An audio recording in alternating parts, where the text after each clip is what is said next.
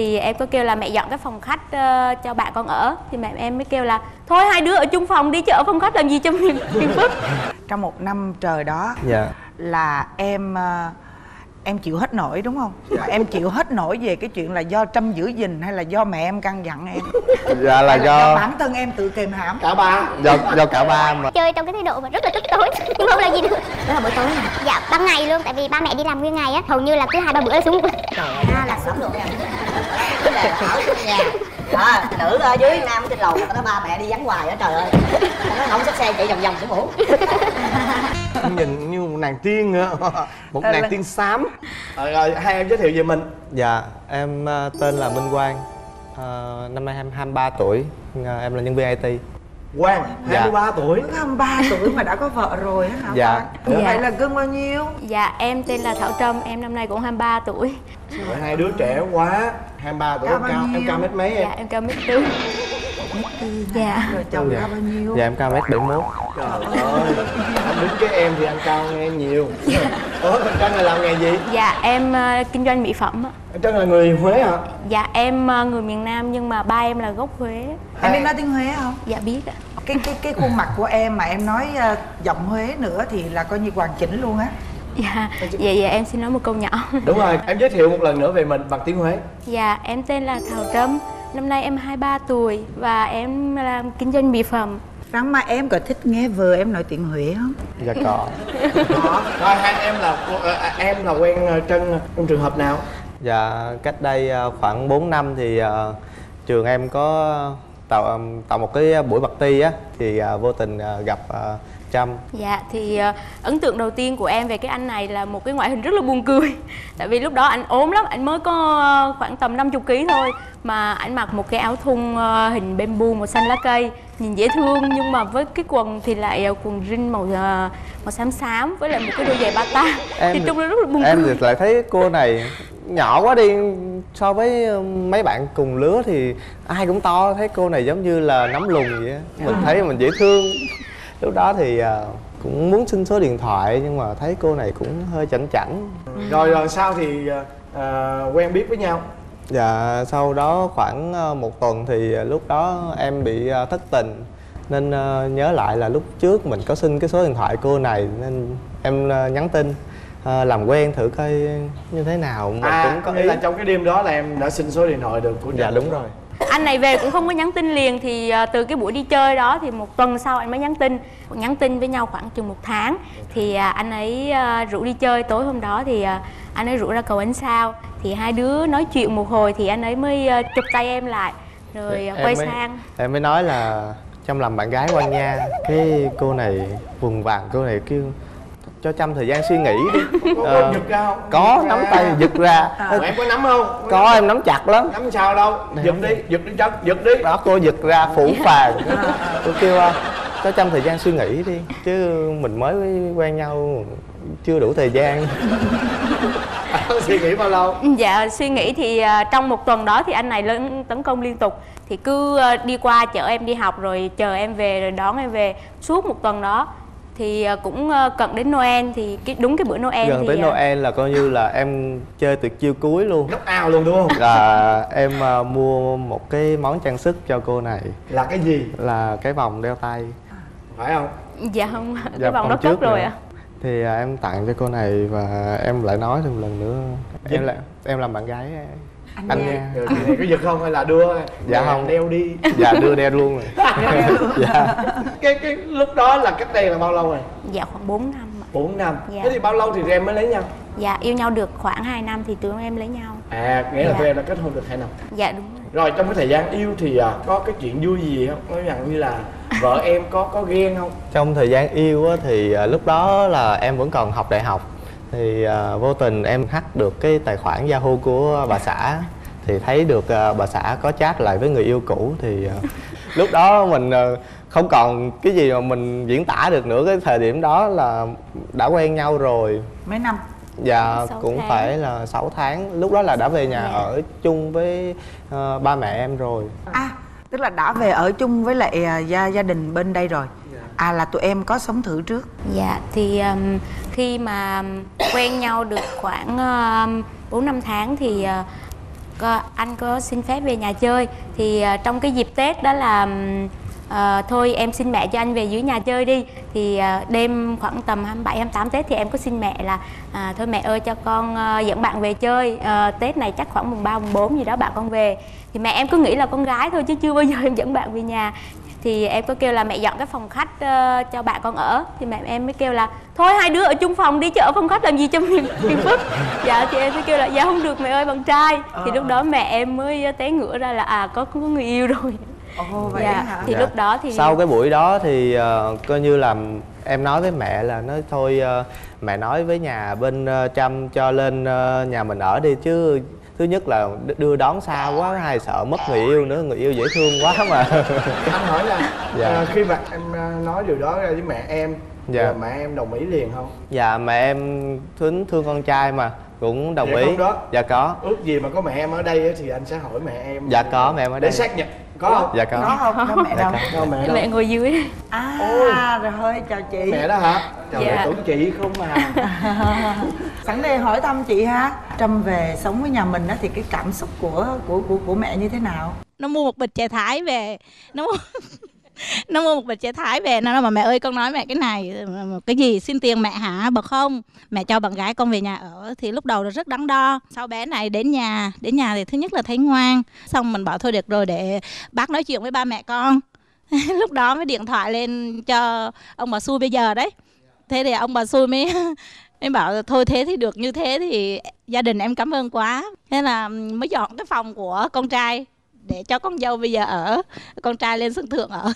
Ồ vậy à? Trời ơi tức có nghĩa là à, nhất binh trọng nhất binh binh binh khinh vậy Ờ, đó. Ờ, tức có nghĩa là vẫn ở là riêng ở phòng riêng hả chị ạ? Ở phòng riêng. Nhưng mà lúc đó mẹ có lo không? À, mẹ nhiều khi lại đi chợ chợ búa rồi nữa.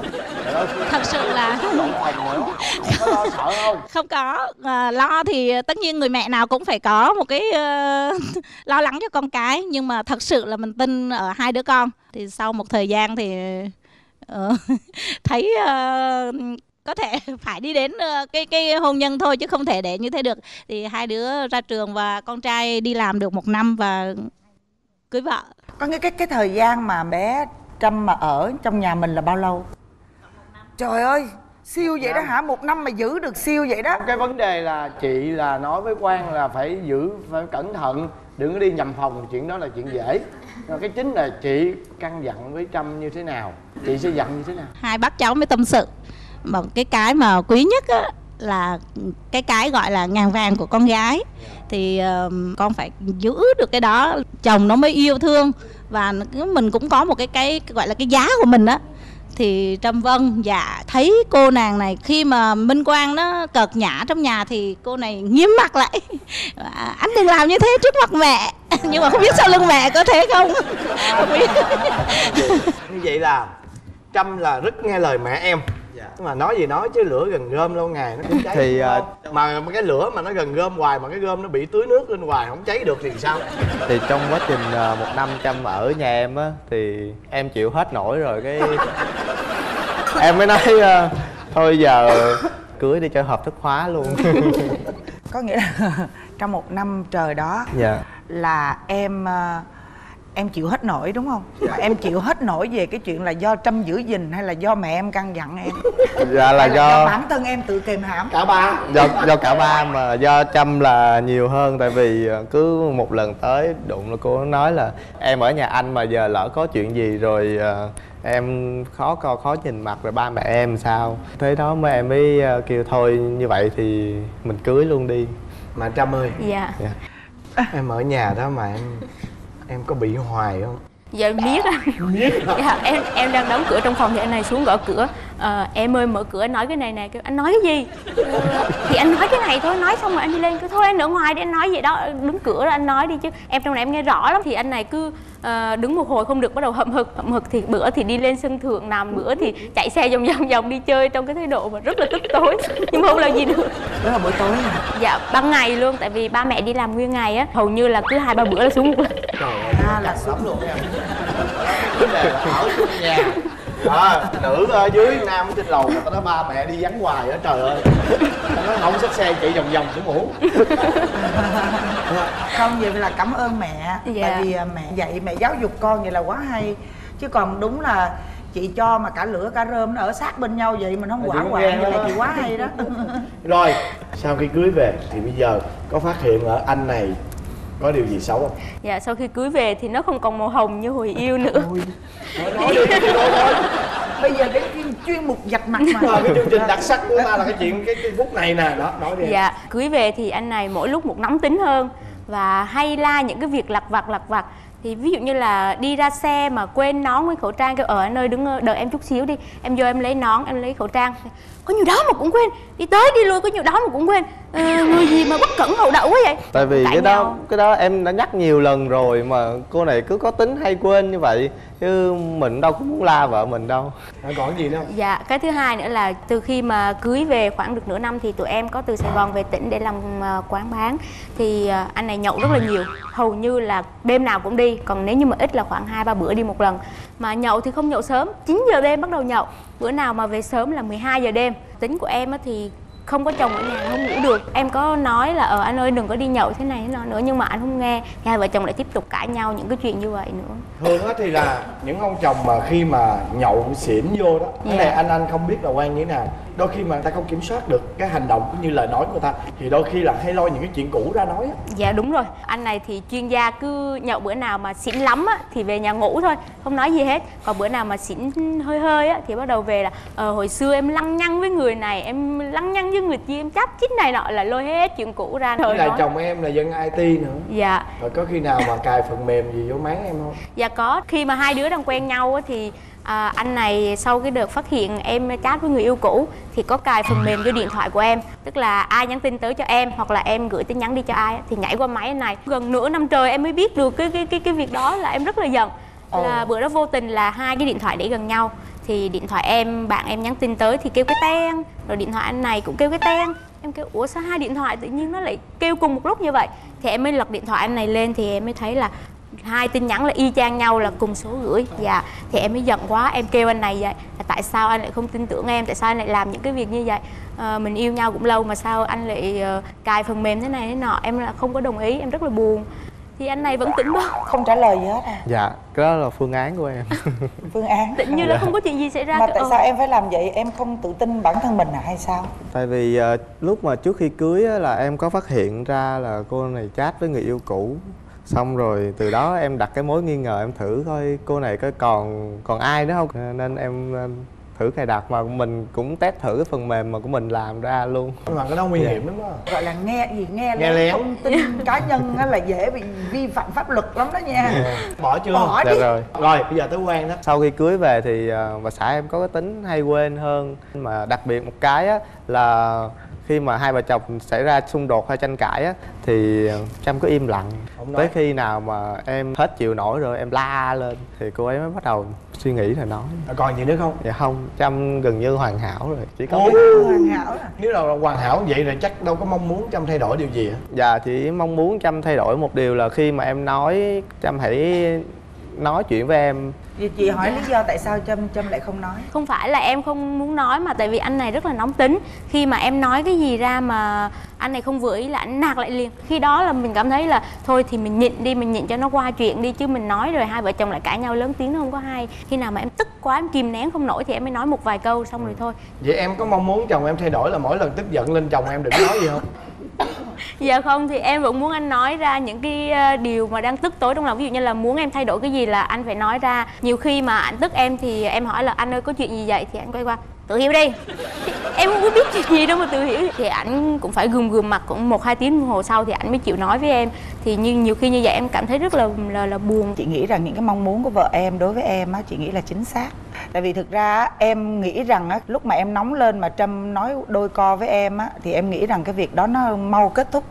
Cái phần mà tranh luận nhưng mà biết đâu chừng á, nếu mà trâm mà nói qua nói lại á, thì cái xung đột nó bùng nổ hơn nữa tại vì tánh em nóng á.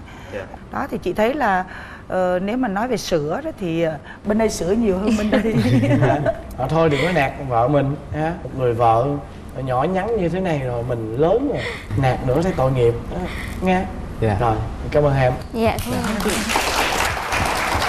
hết. Em ờ, nghĩ là tại sao ờ, mình rất là nhiều bạn gái nhưng mà khi mình bị nạn thì lại một người không quen với mình mà lại săn sóc mình. Tự nhiên anh ngồi anh khóc. Em mới nghĩ trong đầu chắc là công tử bột đau quá khóc. À cũng xài chưa đến nữa dạ. em cũng gục ngã nữa. Dạ. Rồi tiếp tục là vẫn cứ quá trình của một anh chàng đào hoa nữa không? Quen nhau lại khoảng 3 tháng thì ờ, có cô bạn bạn mới. À. Chúc mừng năm mới chúc mừng năm mới tất cả quý vị khán giả trong trường quay ngày hôm nay. Ở chị Hồng Vân nè Nhân dịp vợ chồng son một số mừng xuân Em muốn hỏi chị là chị có một cái lời chúc nào đó gửi đến cho quý vị khán giả Đặc biệt là các cặp vợ chồng đến với chương trình vợ chồng son ngày hôm nay. Đối với em á thì cái câu đầu tiên mà nó chợt nảy ra trong đầu em á là câu gì? Ừ. Ủa em hỏi chị mà. Ờ thì chị cũng muốn hỏi em để xem chị em mình có đồng cảm hay không. Làm việc với nhau một cái thời gian rất là dài rồi. Bây giờ bây để- giờ á hồng vân với quốc thuận cùng nói chung một lúc xem xem là hai cái ý có giống nhau hay không nha quý vị. Mọi người đồng ý không? Vậy thì bây giờ ở dưới chúng ta đếm 1, 2, 3 để xem Thuận và chị Hồng Vân sẽ chúc cái gì nha. Nào bắt đầu. 1, 2, 3 Sức khỏe và tình yêu. Xin mời quý vị cùng gặp gỡ với cặp vợ chồng đầu tiên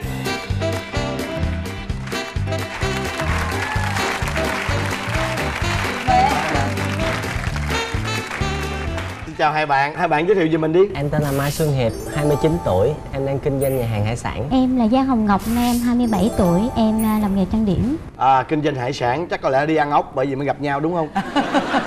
dạ không phải à. Em hôm đó em đang đi chơi với ờ, bạn em trên đường thì tình cờ em ngừng đèn đỏ em mới nghe một giọng cười thật là lớn lớn hơn cả cái tiếng còi xe của em. Trời ơi. Em mới ngạc nhiên em quay lại em nhìn thì em thấy một cô bé rất là nhỏ con dễ thương trong một cái bộ váy màu hồng. Em cố tình em chạy từ từ lại cùng với người bạn chờ cô bé đó lên. Thì em nhìn sang cô bé đó cô bé đó mới ờ, nhìn lại em cười mỉm chi với em. Em mới thấy cô bé này dễ thương quá em mới chạy theo em cua Tại vì à, cô bé này người nhỏ nhưng mà cười không có nhỏ đúng không? dạ. Lúc đó anh cười sao? em cười.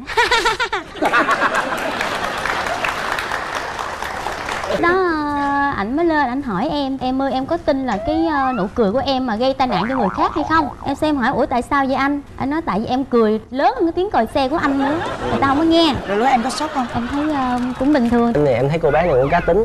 Tại vì mình vừa mới nói như vậy rồi mà cô bé vẫn cười mỉm chi với em thì à, em chạy theo em cưa cưa cưa cưa em mới mời cô bé này uống sữa đậu nành. Thì cô bé này á, mới nói là thôi à, em không đi đâu. Thì em mới nói tiếp là em cứ đi đi đôi khi á ly sữa đậu nành có thể thay đổi cả cuộc đời em sao? Ôi tự tin dễ sợ. Rồi khi mà em nghe cái câu đó rồi quyết định đi liền không? dạ không em nghe em cũng không đi. Em cũng chạy đi về thôi mà ảnh đi theo cũng cưa thêm đoạn nữa. Ồ. em thấy cũng ờ, chịu khó em cho số điện thoại rồi chia tay nhau về. Rồi bao lâu thì mới gặp lại nhau? Khoảng một tháng. Em hôm đó em đang ngồi muốn cà phê thì à, có một cái tin nhắn À, nội dung tin nhắn đây là số điện thoại này là số điện thoại mới của ni thì em coi lại cái tên người nhắn tới á là hi hi ha ha. Em mới sực nhớ tới à cái cô bé mà kỳ mình gặp ở trên đường có giọng cười to. Em mới nhắn lại em hỏi có nhận ra anh là ai không? Thì cô bé này mới trả lời với em đó là anh là bùi kiện phải không? Gì? tại vì cái hôm đó em hỏi ảnh đó là tên gì để em lưu số điện thoại vào máy.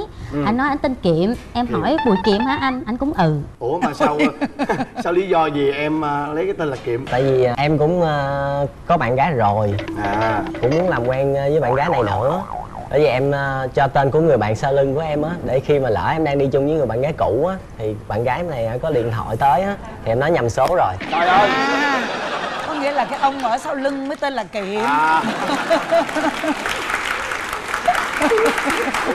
Rồi hai bạn chính thức là quen nhau khi nào? cái lần đầu tiên mà đi Đó. chơi với nhau có kỷ niệm sau gì khi không? mà em mà nhắn tin cho ảnh rồi rồi cái buổi sáng đó là ảnh đang đi nhậu với bạn ảnh lại gọi em ra. Em nói là em không ra đâu. Ảnh nói là em ra đi em nói em không biết đường. Ảnh mới nói là em đi taxi đến đi anh trả tiền cho trời sốc quá vậy. Dạ em cũng không tính đi nhưng mà thấy sốc quá em ra coi thử coi cảnh như thế nào. Rồi sao nữa sao? cưng? Em mới à, chạy ra em đón thì vừa một tay em chạy xe ra và một tay em nói chuyện với cô bé này. Thì khi à, chạy á, em bị té xe. À, lúc đó em thấy anh cũng bị chày chụa thôi nhưng mà À. tại vì máu nó lấm lem em mới hỏi anh có sao không? Anh nói là anh không sao hết rồi lúc đó anh cầm cái chén lên anh xúc đồ thì nó lại rớt cái chén xuống. Em nghĩ là chắc là gãy tay rồi em Rồi. bắt đi khám anh không chịu. Em mới nói vậy anh leo lên đi em chở cho. Em mới chở anh đến bệnh viện luôn. Em lo thủ tục các thứ mọi thứ cho anh luôn. Ờ nhưng mà sao ngộ ta? Sao lúc đó xe em không nhờ gia đình em chở em đi mà em nhờ cô bé chở đi? thì em có liên lạc với lại gia đình và điện cho bạn gái cũ thì không ai tới hết, ai cũng bận việc hết. Em ờ, nghĩ là tại sao ờ, mình rất là nhiều bạn gái. Nhưng mà khi mình bị nạn thì lại một người không quen với mình mà lại săn sóc mình. Tự nhiên anh ngồi anh khóc. Em mới nghĩ trong đầu chắc là công tử bột đau quá, khóc sau đó. Em mới ờ, nghĩ là ảnh, tại vì ra đón em cho nên bị tai nạn em mới tới nhà em chăm sóc cho ảnh. Rồi từ đó mới là nảy sinh tình cảm. Nảy sinh thôi vậy thì bao lâu thì mới yêu? Tại ảnh hay tặng quà bất ngờ những cái rất là lãng mạn cho nên em yêu luôn. Vậy thì những câu chuyện khi yêu sao? Ừ, quen nhau được 6 tháng thì em thấy cái tin nhắn của bạn gái cũ nhắn tới. Ờ. mà nhắn không có nhắn bình thường chị. Nhắn là mật mã abcz gì đó. Em mới ờ, nói là nếu mà tin nhắn bình thường thì tại sao phải nhắn mật mã em bắt ảnh phải gọi gọi lại giải thích nói chuyện rõ ràng. Mà anh không chịu anh nói em là nhỏ mọn quá. Mình quen mà thì mình cũng phải có chút xíu gì đó ga lăng với người bạn gái cũ mình kết thúc trong một cái sự tốt đẹp. Chứ đừng để cho người ta phải suy nghĩ về mình là còn cái gì đó. Rồi cách cuối cùng rồi sao? Nhà thì chia tay không có liên lạc. Sau đó thì mới huề lại. Ủa mà mà sao về cũng cái chiêu làm quà bất ngờ đó anh. À cũng xài chiêu đó nữa Dạ. em cũng gục ngã nữa hả? dạ. Rồi tiếp tục là vẫn cứ quá trình của một anh chàng đào hoa nữa không? Quen nhau lại khoảng à, 3 tháng thì à, có cô dặn bạn gái mới. À trời đất ơi. có nghĩa là trong thời gian mà giận nhau đó là em đã kịp quen thêm một cô nữa rồi đúng không? Nó có giống lần đó thứ nhất thì không? à, em không có biết. Ảnh nói với em là ảnh đi qua Campuchia làm công việc cho nên không có sóng điện thoại để liên lạc với em. Em cũng tin. Có một lần ảnh nói ảnh về trà vinh chơi với bạn thì vô tình em tìm được cái sim cũ mà trong cái sim cũ đó lại có cái số điện thoại anh ở trà vinh. À. Em mới gọi em hỏi là có anh đó ở dưới ờ, trà vinh chơi không? Thì cái anh bạn nói là không có. Chưa. À. anh ấy tính không bằng trời tính. Rồi sao nữa cưng? Em mới lên kế hoạch em điện cho anh kia là nói dối vợ em nói vậy ông cũng bồ tôi không? Đúng không? Dạ. ai cha cao cơ dữ ta. Em mới kêu ờ, ảnh á là gọi lại cho vợ em á là nói với vợ em là không biết em là ai Ờ. nên không dám nói là hiệp đang ở đây. Tưởng Ờ, là ờ. hiệp đi chơi mà sợ bạn gái là điện lên hay ai không biết là vợ hiệp nên mới nói như vậy. Chị rồi làm sao mà em phát hiện ra được? Cô bạn gái đó tự động gọi cho em tự khai hết từ A đến Z luôn. Em thấy ờ, chị đó kể thì nghe cũng tội nghiệp giống như là anh này gạt cũng giống như em bị gạt cho nên em muốn chia tay để nhường anh này cho chị kia mà anh không chịu. Rồi không sao? chịu rồi sao? Em mới suy nghĩ em cảm thấy không còn người phụ nữ nào mà hơn cô bé này nữa hết. Em mới quyết định là em đưa ba mẹ em sang nhà cô bé đó hỏi cưới. Hỏi cưới luôn. Trời ơi. quá bất ngờ. Thì công nhận em chứ. cũng bất ngờ em hết hồn tại vì chưa có chuẩn bị gì hết mà được hỏi cưới như vậy đó. Rồi có đồng ý không? Cũng ừ tiếc có nghĩa là cưới nhau. Vậy thì anh muốn nghe những câu chuyện bất Sau- ngờ sau khi cưới. sau khi cưới phải không? Đó. Ừ. Lúc mà cưới về em cũng mới phát hiện là cực kỳ gia trưởng rồi khó tính. Ảnh nói cái gì cũng bắt em phải là nghe theo phải là một người vợ hoàn hảo. Bắt em khi mà gấp khăn phải là gấp bốn góc bằng nhau. Ăn nói phải là ý tứ. Ăn cơm không được vừa cầm đũa vừa cầm thìa không được đưa cái tay ăn mà quá cái mặt ngồi ăn như tiểu thư. Bắt em đừng đi hai hàng. Rồi á em thực hiện được mấy cái? Dạ, em thực hiện được 5 cái cái cuối cùng là cái nào? Dạ đi hai hàng. Không thực hiện được. Dạ không. Tại sao? Tại vì cái gì mình sửa được mà gen gia truyền nhà em là từ ông bà cha mẹ anh chị cũng đi hai hàng. Mà em đi hai mươi mấy năm rồi chứ em sửa đâu sửa được.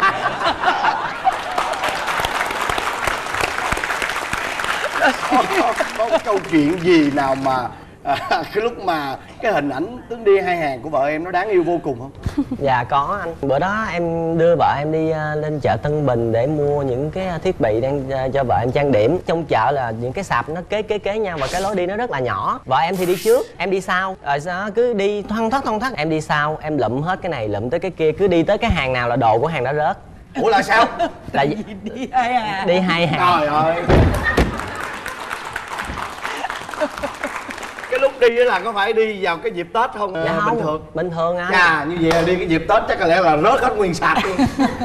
Rồi em lượm rồi làm sao? Thì em lụm lên em máng lên giùm người ta người ta cảm ơn em mà người ta quay qua người ta chỉ cô bé đó nói nhá trời con nhỏ này sao nó đi tướng gì mà hai hàng nó đi đụng đổ đồ rồi không biết nó lấy chồng nào. Em cũng nói theo trời cô bé này con nhà ai đi kỳ vậy chứ em đâu dám nói chửi luôn em sao? À không dám nhận là vợ mình sao bị chửi luôn Dạ. à trời ơi công nhận em anh hùng ghê anh hùng ghê. Em có phát hiện thêm một cái điều gì về vợ nữa không dạ có chị. Lấy cô bé này về ngủ thì xoay như kim đồng hồ. Em mới nói à, thôi bây giờ về đi coi có sửa được hay không. Em mới nói thôi giờ anh buộc tay buộc chân em lại thử vài lần. Thật sự là em cũng muốn à, vợ chồng à, thay đổi cho nó phù hợp với nhau trong lúc ngủ. Khi mà anh chồng em anh yêu cầu em vậy đó em cảm thấy như thế nào? Tự ái gì cái gì cũng bắt mình rồi bây giờ ngủ cũng không cho thoải mái nữa. Bắt cột tay cột chân lại nên em giận em bỏ về nhà mẹ em luôn. Cho anh hỏi nè cứ mỗi lần giận vậy là bỏ về nhà mẹ hay sao Dạ không, cũng không có, cũng phải tìm cách chứ chị. Em mới nói là bây giờ anh thay đổi đi. Mỗi lần anh giận, anh tức em á, anh đừng có chửi em nữa. Mà anh phải nói là em đẹp quá, em dễ thương quá. Rồi em nói sao? Em nói à, anh yêu em lắm. Em đẹp lắm. Mà tại chừng em là em em đẹp lắm. Em dễ thương lắm thấy không? Cái tâm lý đó là như vậy. Thôi mà chị hỏi nè cái đó là những cái bất ngờ của gọi là chồng á khi cảm nhận được ở vợ. Nhưng mà còn em á hiện giờ á đối với em á chồng em có những cái bất ngờ gì? Ngày trước anh không biết làm gì hết trơn á tại vì có một cái biến cố xảy ra cho nên ảnh thay đổi tính tình từ đó. Hồi lúc mà mới cưới thì ảnh chỉ bắt em ở nhà chơi điện tử vậy không cho đi làm. Nhưng mà em rất là thích đi làm cho nên em cố gắng em lén em đi làm rồi em mới dành dụm tiền bạc này kia em giấu hết. À, lúc đó làm ăn thất bại rồi ảnh mới à, suy nghĩ là đi tự tử. Trời ơi, gì bi quan dữ vậy? Lúc đó thì em xuống tận cùng vực thẳm rồi tất cả mọi thứ em không ổn hết. Thì hôm đó em mới suy nghĩ đần độn tí xíu là em lên trên cầu em tỉnh từ tử. Thì em mới ngồi em hút hết một gói thuốc và uống một ly cà phê. Thì hút xong cái em cũng vừa tính nhóm chân để em em làm việc đó thì có hai người dịnh vai của em. Em mới giật mình lại thì là hai anh bảo vệ cầu. Ảnh giữ em lại và ảnh phạt em cái tội xả rác. Trời ơi thì quá ra rồi, là không sao phải nữa hồi hộp quá. Rồi sau khi mà ảnh bị bảo vệ bắt á, thì chắc tỉnh rồi. Đi về nhà.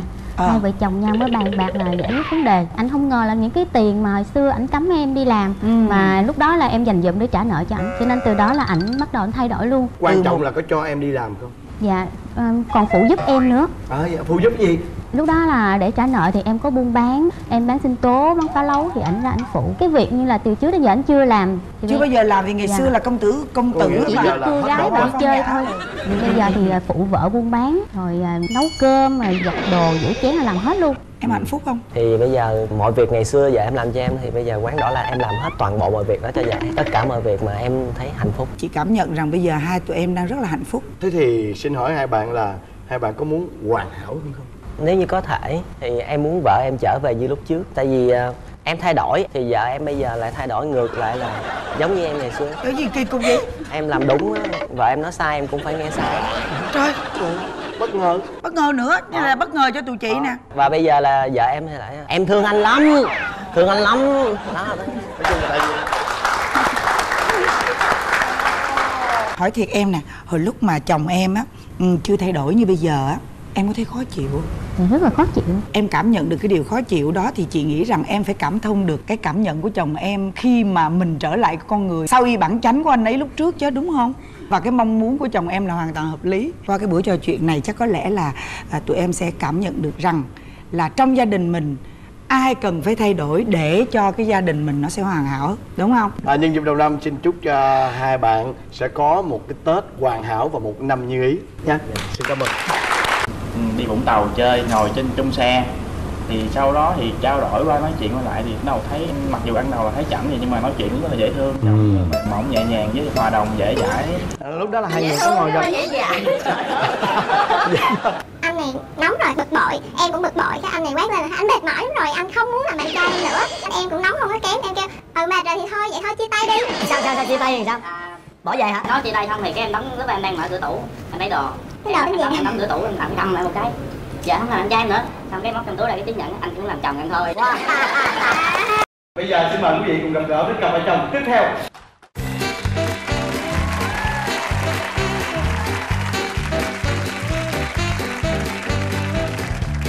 Chào hai bạn trẻ. anh chị.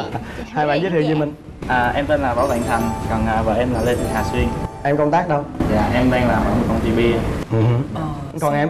Dạ em với lại ông xã thì làm chung công ty. Em làm kế toán, ông xã em làm sale. À, hai người gặp nhau là chắc là đi đi nhậu hả hay là đầu tiên gặp nhau á là khi em vào thang máy của công ty á trong thang máy đó là có ba người cùng đi em và một người bạn với vợ đây thì ấn tượng đầu tiên gặp đó là cô này kêu lắm nhìn thấy rất là thấy xinh đẹp nhưng mà kêu mặt nhìn nhìn trời luôn mà lý do tại sao mà nhìn nhìn lên trời mà không nhìn dưới đất kìa?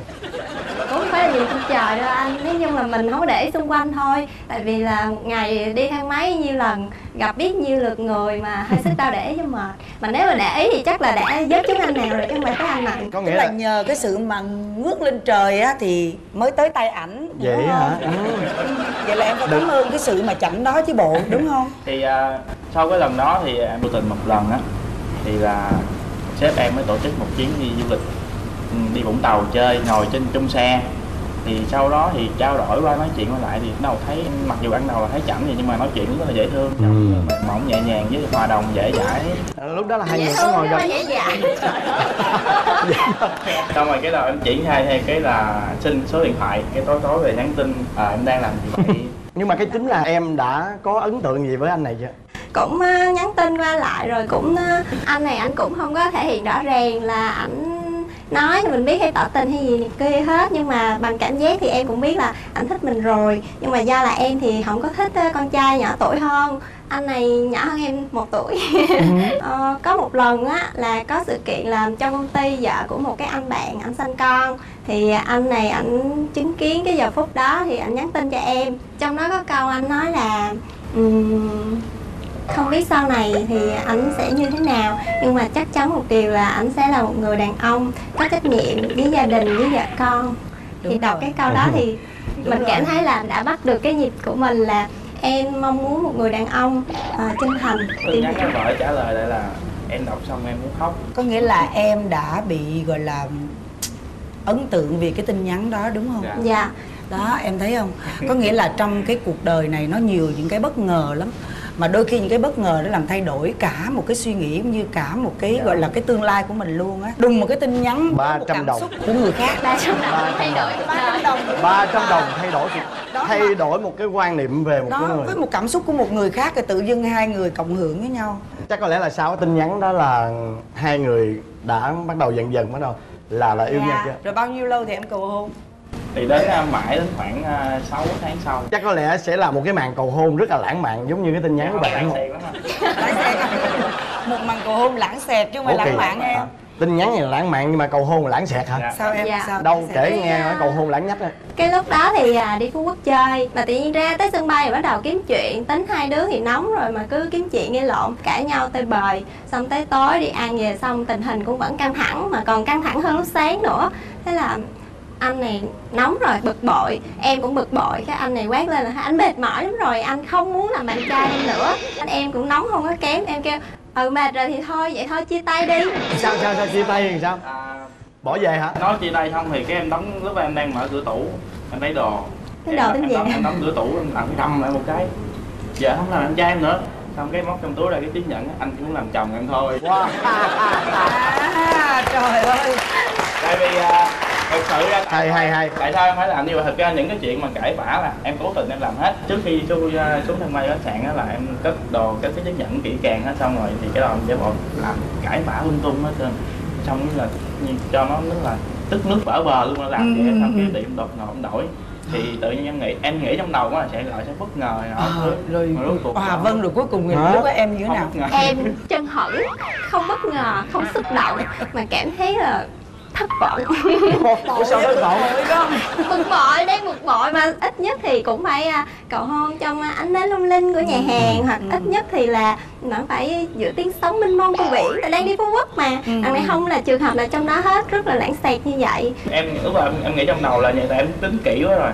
Ừ. xong rồi tự nhiên đưa xong rồi dẫn cái cầm lên cũng cầm xong mặt nhìn em bơ bơ đơ ủa vậy là tự cầu hôn nữa hả? Xong rồi cái cái đơ vậy đơ 5 phút làm em cũng đơ theo luôn em cũng thấy quê sệ rồi. Ờ, ờ, ờ. tính đơ luôn xong cái hỏi cái em mới cái em thấy không gian im lặng quá em mới phá vỡ không gian bằng câu thì có lấy không không lấy trả đây trời ơi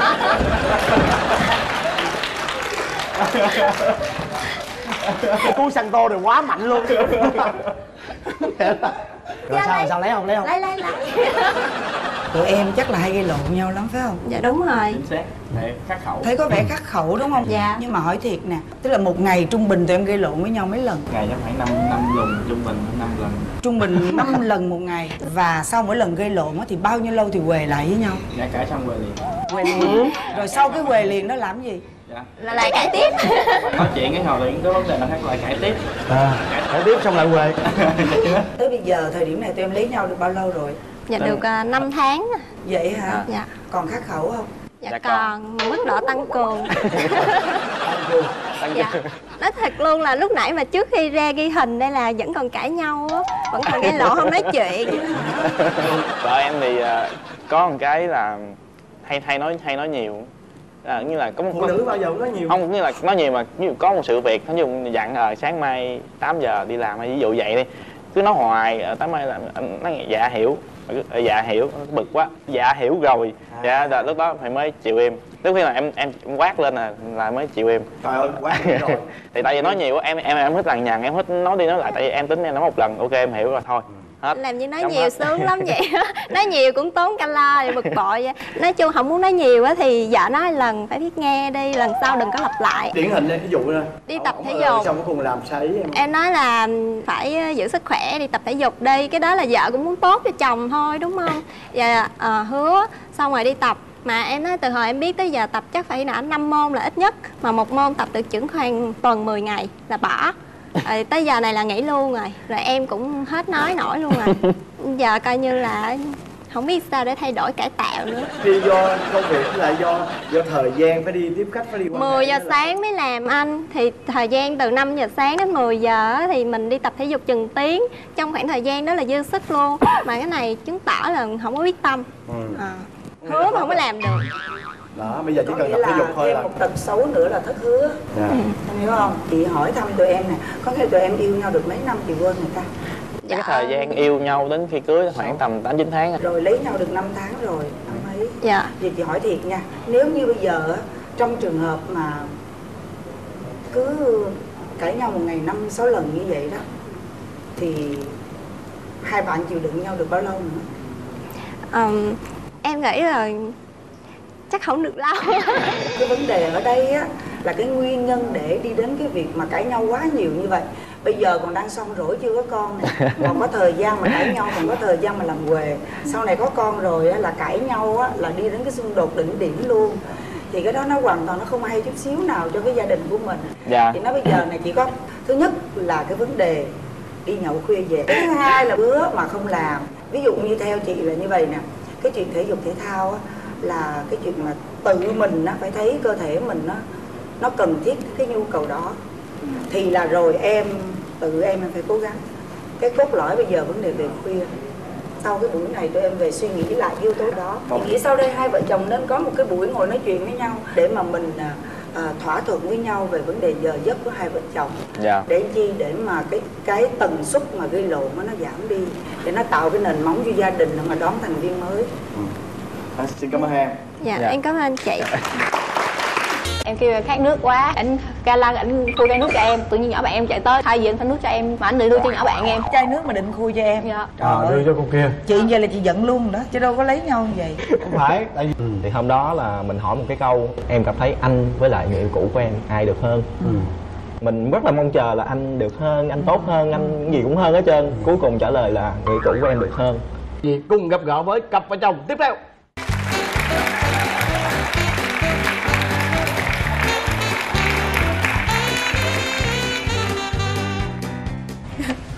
đứng hình luôn em. Dạ. Đây là vợ em. Hả trời ơi trời ơi trời ơi bởi vì chị mới phải ngậm ngùi trước khi hỏi. Đủ tuổi vị thành niên chưa? Dạ em em được 25 tuổi rồi chị. Em tên gì? Em tên là phạm nguyễn hằng mỹ. Em à, công tác ở ngành nào? Em là nhân viên văn phòng của công ty nội thất. Ủa, mỹ à, cưới anh ông ông mỹ lấy anh này lâu chưa? Dạ cũng được 6 tháng là quá son đúng son không? son quá. Son này là son bóng luôn á em em tên gì? Dạ em tên là nguyễn thanh tuấn. Em cũng là nhân viên văn phòng năm nay em 26 tuổi. Trời hơn vợ con tuổi Dạ, hả? đúng. bạn bạn là chững chạc so với tuổi của mình. Trong khi vợ của bạn thì lại quá non nớt so với tuổi của mình. Bạn có cảm giác vậy không? Lâu lâu đi là nhìn tưởng hai chú cháu. Hai bạn gặp nhau trong trường hợp nào? Hôm đó là em rủ một anh bạn đi chụp hình. Hai đứa ờ, hẹn với nhau là mỗi người sẽ dắt theo một người mẫu. Em dắt theo một người mẫu và anh bạn dắt theo vợ của em em lúc đó vợ đi trễ cho nên vừa của xe là cười trừ thấy nụ cười là mình kết liền luôn. Rồi sao? Cái buổi chụp hình nó diễn ra như thế nào? Dạ cái bữa lần đầu đi chụp hình thấy ảnh thì hơi già dặn với lại nhìn cái mặt có vẻ là hơi điểu điểu sao? Đó. không có tin tưởng cho lắm. Trong buổi chụp hình thì ảnh cứ chụp hình cho mình không à thấy kỳ kỳ quá không chụp cho cái cô kia mà cứ chụp cho mình thấy cũng nghi nghi rồi. Xong rồi á, sau cái buổi chụp đó là còn chụp nữa không?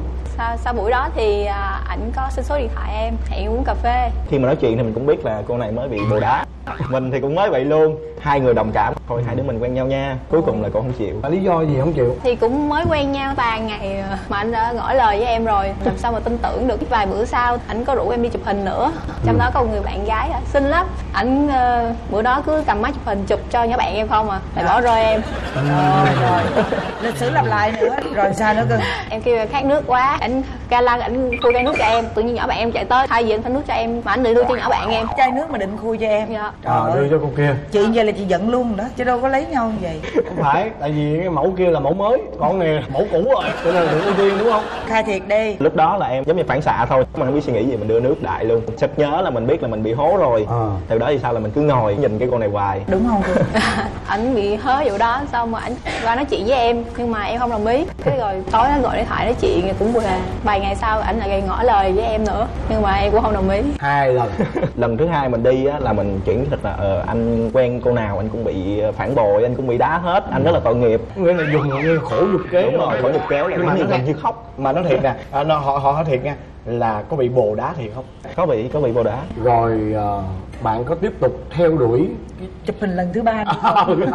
Lần thứ ba thì thì không có đi chụp hình. Thì lần cuối cùng này mình chơi một cái chiêu gọi là sau bao nhiêu năm đúc kết anh tỏ tình với em hai lần rồi lần này thứ ba mà tao nói nhất quá tam. Mất quá tam. Lần này mà không được là anh anh bỏ luôn nha. Ừ. cuối cùng chịu. Tại sao lại chịu? Anh tại vì ngỏ lời cũng vài lần rồi nó không chịu nữa thì mình hết người dẫn mình đi chơi rồi. Vậy hả nhưng mà cái người yêu mà bị bồ đá đó so với chồng của mình á thì ai hơn? Em thấy là chồng em vẫn hơn. Vậy á mà quen nhau được khoảng nửa năm thì hôm đó là mình hỏi một cái câu em cảm thấy anh với lại người yêu cũ của em ai được hơn? Mình rất là mong chờ là anh được hơn anh tốt hơn anh gì cũng hơn hết trơn. Cuối cùng trả lời là người cũ của em được hơn. Lúc đó mình chân hững luôn mình không biết sao luôn. Rồi cái cơn giận của em sao? Lúc đó là em không nói gì hết. Em im Bầm gan tím ruột đó. đúng rồi ừ, im im im, im đúng xong mấy ngày sau cô này biết mình giận nhưng mà không thèm gì hết. Cuối cùng bốn năm ngày sau em mới là người thôi ờ, anh hết giận em rồi hai đứa mình làm lành nha. À, tự giận tự giận Đúng luôn á dễ thương coi như là nhưng mà em có biết là em so sánh như vậy là làm ờ, cho bạn trai em tổn thương hay không? Thật sự thì à, ảnh là người à, nhiều điểm tốt hơn. Tại vì em sợ là ảnh sẽ tự cao cho nên là em sẽ dìm xuống. Đó thấy chưa? Có nghĩa là bên đây chơi chiêu thì bên kia cũng chơi sách vở đó chứ không có đơn giản. Lần sau nếu mà hỏi mà cổ mà nói anh ờ, hơn người cũ là em phải coi lại. Mà chị hỏi này sau này lúc mà yêu nhau rồi á có hay ờ, kể cho nhau nghe là ờ sao sao sao không? Hay là có một lúc nào đó mình lạc lòng mình lại liên lạc lại với cái người yêu cũ của mình không? Lúc mới quen thì cũng còn liên lạc với người yêu cũ. Lúc đó là muốn tặng một cái món quà cho vợ. Nhưng mà nghe tin cô cô cô bạn gái cũ là có người yêu mới á thì không biết sao trong lòng nó nó cảm thấy rất là khó chịu. Cái mình lại đem cái món quà đó lên nhờ cái cô bạn gái cũ gói giùm. Thì sau về hai đứa chắc với nhau nói là mấy món anh đừng làm như vậy nữa. Xong không biết sao vợ phát hiện ra vợ mới đem nguyên một cái laptop đùng đùng qua nhà mình mở ra. Rồi mình không có chối cãi sao được hết trơn á. Mà tôi không hiểu tại sao ông nhờ chi nhờ ác ôn bao nhiêu người có quà đẹp không, không nhờ đi nhờ người yêu cũ có quà tặng người yêu mới. Em em lý giải cái việc đó làm sao? Em cảm giác như là ảnh xem thường em vậy đó.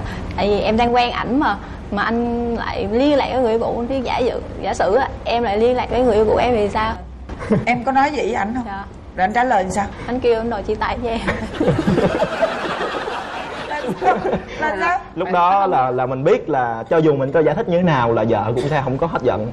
Mình đánh vào cái là biết vợ rất là thương mình cho nó thôi em không tin tưởng anh thôi hai mình chia tay đi mình vừa nói cái là vợ nói thôi em không muốn chia tay đâu cái hai đứa làm lành luôn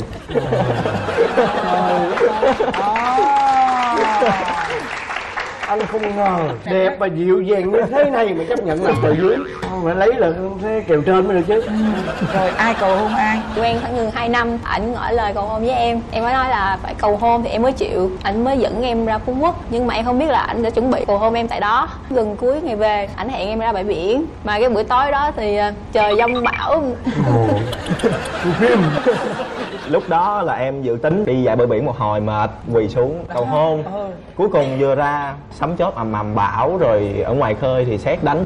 Vợ sợ quá không dám ra. Cuối cùng là dắt vô một cái nhà hàng gần bãi biển mà mình cũng tưởng tượng là một cái nhà hàng có nhà có đồ. Cuối cùng vô nhà hàng tối thui không có gì hết. Hai chồng ngồi đập củi mất hết toàn bộ cái cái gọi là cái cảm xúc luôn. Nhưng mà có móc nhẫn không? Đành phải móc nhẫn ra luôn. Em làm vợ anh nha. Rồi lúc đó em cảm xúc em sao cơ? Sao tự nhiên không khí mà nó lãng xẹt làm sao á không có hấp dẫn. Rồi em thấy thôi cãi lấy lại em đi. Trời ơi coi như kế hoạch thì coi như bị phá sản rồi. Thật ra là thấy không thấy rõ Đi ràng coi người tính không bằng trời tính rồi bây giờ lấy nhau sao ai nắm tay chắn là em à. rồi một ngày là phát cho chồng bao nhiêu tiền không phát ạ à. lên lương về thì à, đưa cho gia đình còn dư một khoản thì sẽ gửi vô tiết kiệm của hai đứa vợ em là rất là đa nghi lúc nào cũng là anh có quỹ đen phải không? Mặc dù là lương của mình bao nhiêu tài khoản là nắm hết. Lúc nào về cũng lột bóp nếu mà thấy dư nhiều hơn 500 ngàn là rút ra một nửa để vô ống heo. À vậy đó nhưng mà để ông heo thôi đúng Ừ, nhưng không? mà nếu vậy không thì cũng cũng không nói gì để nói mà vợ cứ hỏi là ủa sao anh không có tiền để mua quà cho em? Hồi xưa anh mua quà rất là nhiều anh dẫn em đi chơi rất là nhiều giờ anh không có không mua gì hết cho anh anh không thương em nữa. Hả vậy đó. Nhưng mà có quy định là mỗi một tháng là sắm sửa cho chồng cái gì gì gì không? Em thuộc dạng là hơi tiết kiệm và ảnh thì vung phí thích xài à, đồ hiệu nhiều hơn còn em thì không muốn như vậy. Cho nên là ảnh cứ cầu nhầu em về chuyện đó rồi ảnh có tật xấu gì nữa? Tới giờ tối không chịu đánh răng. Sợ hư răng hả? Dạ không là em nghĩ là ngày đánh răng lần đủ rồi. Thôi ăn nhiều quá hư bàn chải hư bằng chải chứ không hư Mình răng tiết hả? kiệm. tiết kiệm giùm cho vợ đó. Vợ đánh răng ngày mấy lần? Hai lần. Chứ tưởng bốn lần rồi đánh giùm chồng. Rồi tật xấu gì nữa? Ăn rất là nhiều à. ngày là ăn ba bữa còn ảnh ngày ăn chỉ có bốn năm bữa. Thật ra thì cái cái này là cái thói quen lúc mới lớn thì mình ăn rất nhiều đến bây giờ mình ăn nhiều luôn mà vợ thì suốt ngày cứ rằng nhằn. Anh ăn nhiều như vậy là em không có để con cho em, cho anh đâu, tại vì anh ăn là anh ăn hết của con luôn. Cứ suốt ngày nói vậy mà không chịu để con. Mình thì mình rất là muốn có có em bé, nhưng mà vợ thì cứ không có muốn cái đó là cái điều mà em không đồng ý với vợ hả? Dạ tại vì cũng 26 27 tuổi rồi thì bây giờ có thì một sau này con lớn lên thì mình mới mới lo được cho con. Còn mà lớn tuổi quá thì sẽ không lo được cho con? Vợ còn tật xấu nào nữa không? Suốt ngày cũng muốn em 24 24 ở bên cạnh thôi. Tại vì vợ em tính thì cũng khá là nhút nhát á. Dù là gia đình của em thì cũng rất là thoải mái rất là hòa đồng nhưng mà vợ rất là ít tiếp xúc giống như kiểu không dám nói chuyện vậy đó. Trời ơi mà nhút nhát vậy mà dám tham gia chương trình này hả? Dạ thực sự thì là mẹ chồng cổ vũ là hai vợ chồng đi thi đi. Trúng thưởng để cho mẹ. À, bây giờ anh mới phát hiện là mẹ chồng em là rất là thích cái giải thưởng là miếng cước từ đầu à Dạ. tức là vì vì vì mẹ mà coi như là lấy hết sức bình sinh để đi ờ, tham dự cái chương trình này đúng không? Dạ. Chị nghĩ á, mẹ mong muốn á, hai vợ chồng em tham gia chương trình này á muốn rằng á, là tụi em sẽ cởi mở với nhau hơn nè giản dĩ hơn nè và sẽ có cháu mau mau cho mẹ. Chắc cái đó là cái điều mà mẹ muốn nhiều hơn hết. Dạ. Ừ. vậy giờ em có mong muốn chồng em thay đổi gì ạ? Ảnh sẽ ngoan hơn và nghe lời em nhiều hơn bớt chơi game đi và quan tâm đến gia đình nhiều hơn. Hiện giờ là em quan tâm đến gia đình là bao nhiêu thời gian trong ngày? Khi mà mà về á là vợ bắt mình ở, ở trên phòng. Cái em là em ơi cho anh xuống chơi game ờ, tiếng. Buổi tối mình lên nói anh mê game hơn là mê em.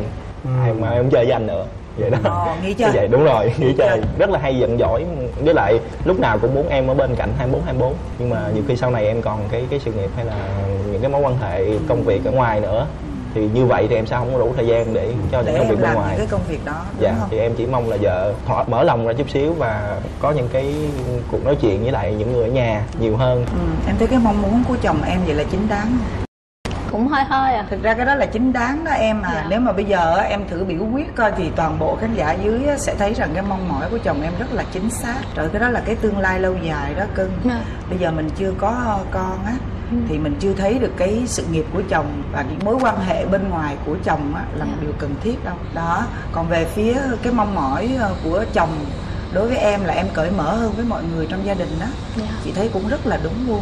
Mình sống trong gia đình của chồng mình á Dạ. thì cái người mà để cho mình sẻ chia là má chồng.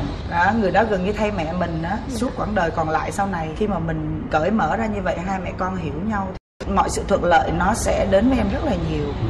Vừa được chồng thương vừa được má chồng thương gia đình chồng thương là một cái điều mà người phụ nữ nào cũng ước mơ hết Dạ. đó còn cái ờ, mong muốn của vợ đối với chồng á thì em có Ờ, em nghĩ là sau sau chương trình này sẽ cố gắng. Cái đó là không phải cố gắng mà phải làm liền. Đừng bao giờ phải đến gặp ca sĩ. Liền đúng không nha ừ, xin cảm ơn hai em. Dạ, dạ. Và bây giờ xin mời quý vị chúng ta hãy cùng đến với cặp vợ chồng đầu tiên của chương trình Vợ chồng son.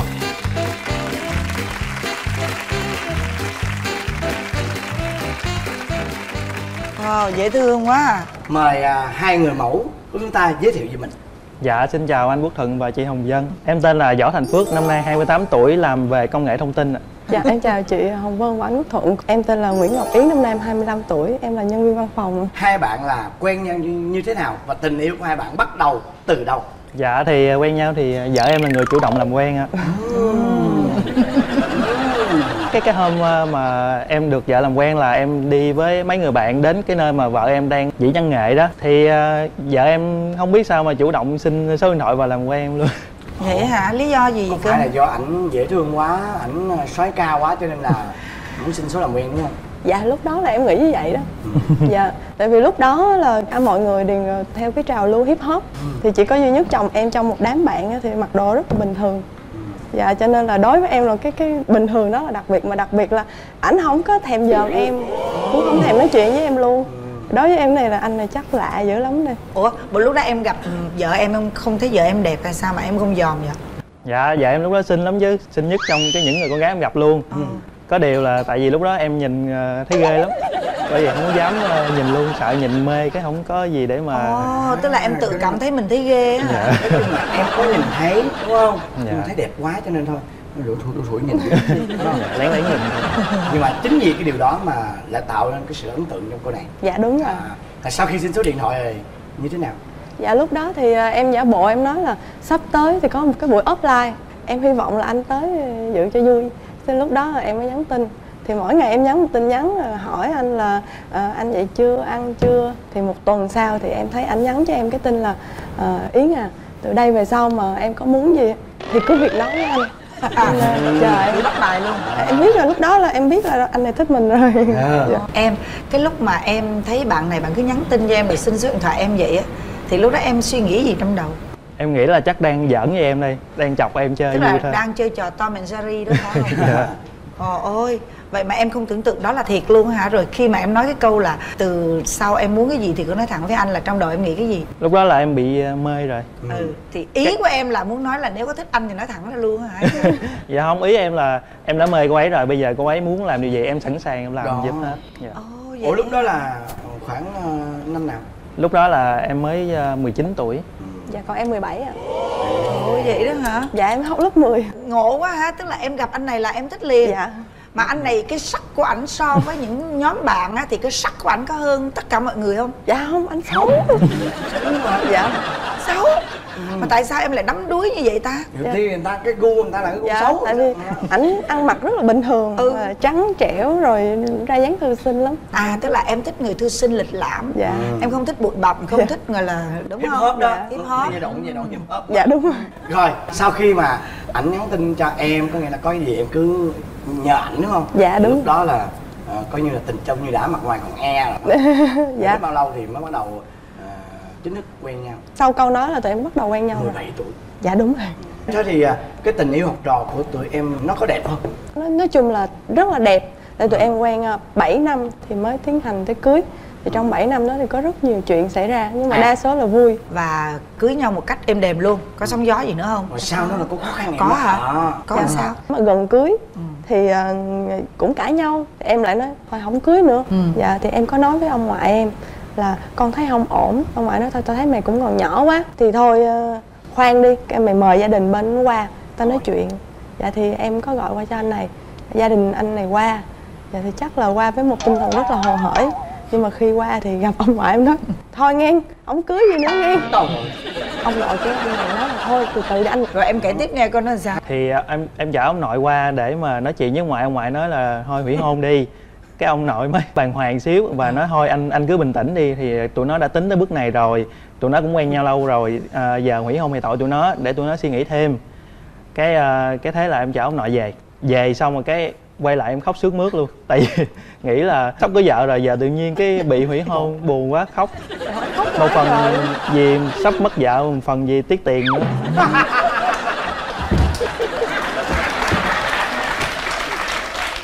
Trời đất ơi.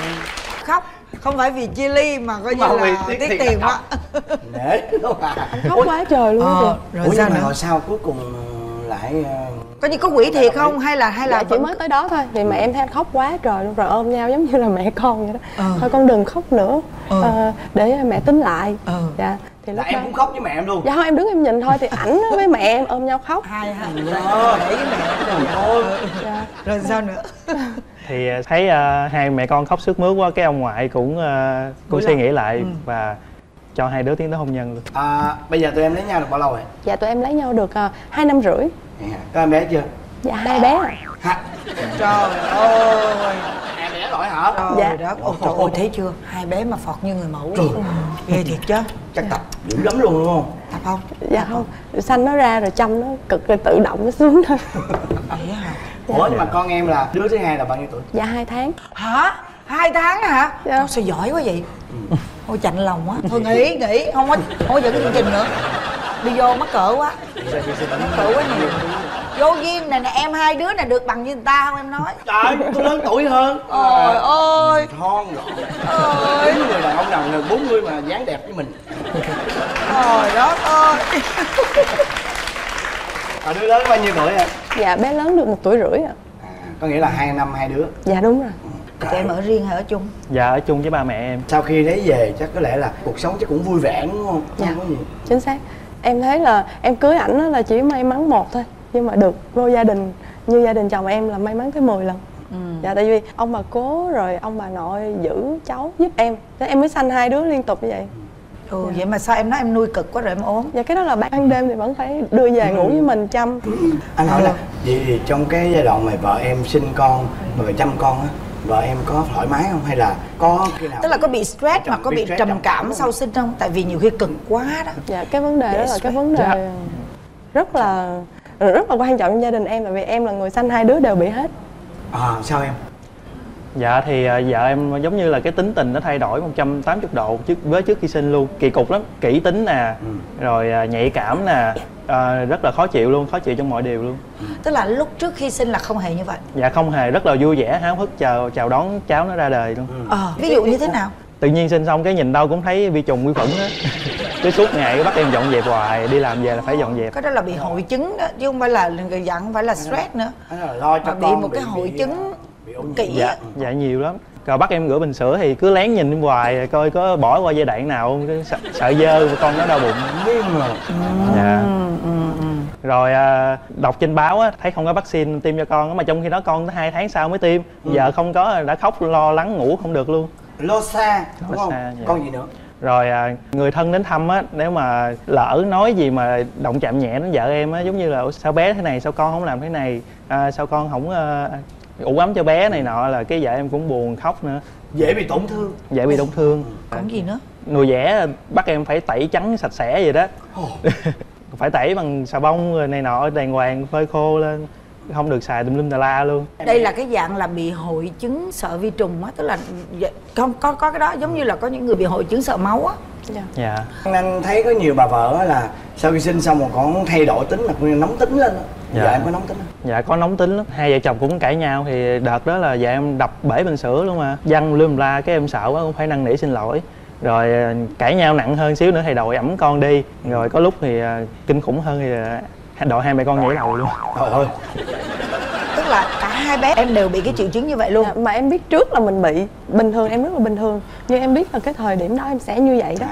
Ồ. Em nhìn mọi thứ nó nó một cách rất là tiêu là cực như vậy là có nghĩa bây giờ em vẫn còn đang bị. Dạ bây giờ thì ờ, nói ra thì tại vì là- bé mới 2 tháng Dạ, rồi đúng nhưng mà không? em bị như vậy là thường là 3 tuần cho tới khi mà ra tháng. Mà bây giờ hết rồi phải không? Dạ bây giờ hết rồi. Nhưng mà ừ giờ thấy nụ đó cười tươi quá mà. mẹ của em á có có đồng cảm và có lên an ủi hay tâm sự với em không? Nhưng bé đầu thì chưa mẹ chưa hiểu lắm. Thì lúc đó thì em với mẹ em cũng có hụt hặc đỉnh điểm là mẹ em đã lên phòng và nói là sao suốt ngày con cứ khóc lóc hoài á nó dễ thương như vậy mà con vẫn cứ khóc lóc thì ờ, lúc đó em vẫn tiếp tục khóc. Em chờ ông này về dỗ em. Thì nói chung là lúc đó em nhìn cái gì thì nó cũng bi quan á bi quan quan. lắm. Ừ. dạ. bây giờ em nghĩ là em vẫn còn buồn cười mình nữa. Nhưng mà không thật ra nó là tại vì á ờ, biết mấy ông chị cũng có một cái thời điểm mà lúc đó là chị sanh xong rồi á em biết không là bắt đầu chị sợ chiến tranh nè chị sợ bão lụt nè chị sợ thiên tai sợ lắm. Dạ, đúng nhìn rồi. đâu chị cũng sợ hết trơn á. Dạ. tại vì mình cưng con mình quá mình thương quá. Dạ. cái cái bản năng bảo vệ của mình nó trỗi dậy á. Tại vì vậy nè em biết không lúc mà mình để con mình trong bụng á mình yên tâm toàn phần bởi vì đi đâu mình cũng mang nó theo. Dạ. và mình biết là mình đang bảo vệ được nó. Khi mình sanh nó ra rồi á là tự nhiên mình cảm thấy nó bị tách khỏi cơ thể của mình á là bắt đầu mình sợ. Dạ tụi mình sợ lắm sợ tất cả mọi thứ luôn. Dạ, đúng. đó đó đúng không em? Dạ đúng rồi. Đó nó là như vậy Dạ. đó. Em À, cũng rất là mong mọi người sẽ quan tâm quan tâm đến vấn đề này. Dạ đúng rồi. Còn đứa thứ hai thì sao? Dạ tới đứa thứ hai thì ờ, gia đình em rành rồi. Ừ. biết rồi. Mà chắc có lẽ là em là người chia sẻ Dạ, đúng rồi, em- giải thích cho mọi người. em với vợ là làm tư tưởng cho gia đình trước. Ừ. thì cũng cái dịp hôm đó là có một người khác ờ, bị cái trường hợp nặng lắm. Thì à, em mới dẫn chứng ra luôn cái gia đình em mới thấu hiểu và hỗ trợ tụi em trong việc chăm sóc con để vợ em bớt phải suy nghĩ lung tung nữa. Anh anh hỏi em là trong cái giai đoạn mà vợ em á, bị những như thế đó dạ. thì em có thể chia sẻ rằng là em giúp vợ mình vượt qua là như thế nào? Em rất là thấu hiểu vợ. Em em vào phụng sinh với vợ luôn. Em thấy vợ đau đớn này nọ nên em rất thương. Vợ có ờ, cọc cằn hay là có nóng tính có đập đợ, đập đồ này đi nọ em cũng không có trách nữa. Tại vì em biết đó là cái người phụ nữ mà sau khi sinh đó người ta phải bị gò bó nhiều thứ lắm anh em thấu hiểu cái điều đó và thông cảm rồi à, chăm sóc vợ nhiều hơn. Không thực ra nếu mà những bạn trẻ nào á mà chuẩn bị có em bé mà xem cái số này á các bạn à, quan tâm một chút xíu nè kể cả phụ huynh hội chứng sau sinh là hầu như là bị hết. Và cái biểu hiện cũng như là những cái hành vi lúc đó của người mẹ nó sẽ tạo cho những người xung quanh khó chịu dạ đúng rồi. Đó và từ cái khó chịu đó nếu như mình không đồng cảm mình không chia sẻ thì nó sẽ tạo một cái hố sâu ngăn cách hơn nữa. Và từ từ cô lập cái người mẹ và người mẹ sẽ đi đến việc trầm cảm nặng. Đó thì vân thấy là mọi người nên để tâm đến những người mẹ mà sắp sửa sanh nhất là những sanh đứa con đầu lòng. Tội nghiệp lắm. Dạ đúng ừ, rồi. nhưng mà cũng chúc mừng em em có người chồng quá thấu hiểu. Dạ. Thì à, kế hoạch hai đứa vậy là đủ rồi. Dạ. Dồn sức lại chung tay lại để mà chăm con nuôi Dạ. con khôn lớn nha. Và Dạ. lúc nào cũng hạnh phúc lúc nào cũng đẹp có nụ cười tươi. Và hãy nhớ hãy nhớ cái câu này rất hay. Dù gái hay trai chỉ hay là đủ. Dạ cảm ơn chị